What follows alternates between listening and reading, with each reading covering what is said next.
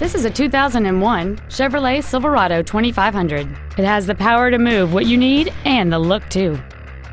It features a 6.0 liter, 8 cylinder engine, a 5 speed manual transmission, and 4 wheel drive.